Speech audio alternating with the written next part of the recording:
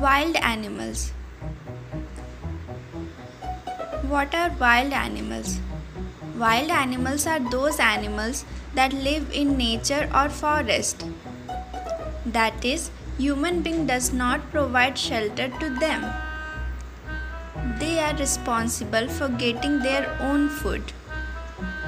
We can see some wild animals in zoo. Wild animals are fierce and dangerous. Some examples of wild animals. Lion, Lion, Elephant,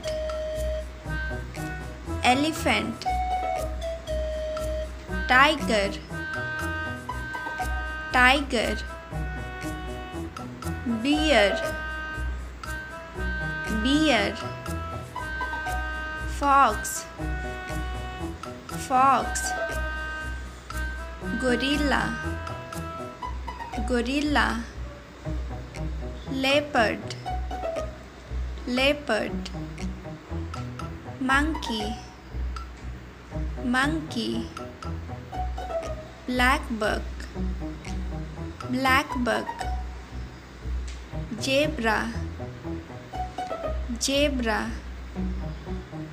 giraffe. Giraffe.